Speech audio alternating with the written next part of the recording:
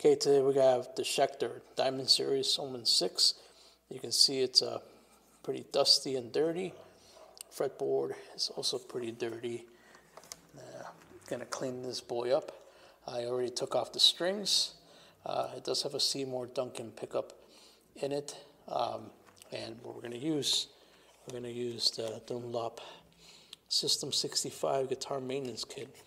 I'm gonna go through all these. Uh, I'm not gonna show you the whole process. We're just going to do a before and after. So here's the before, and then we'll come back and do the after. Here it is all cleaned up.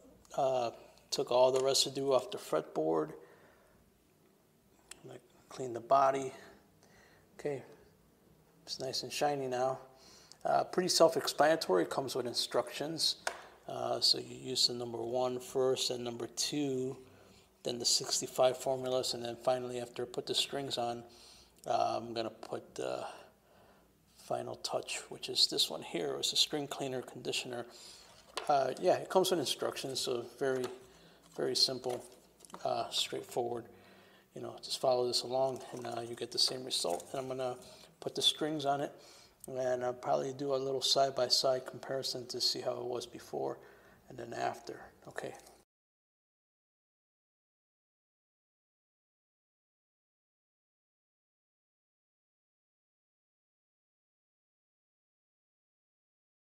Okay, the guitar is completely clean now. I polished it. I used the string conditioner as well.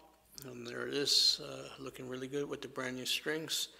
There's still a little bit of residue from the string conditioner, but uh, yeah, overall, uh, much better, and it sounds really good. And, uh, I enjoy cleaning it and getting it back into shape. Okay.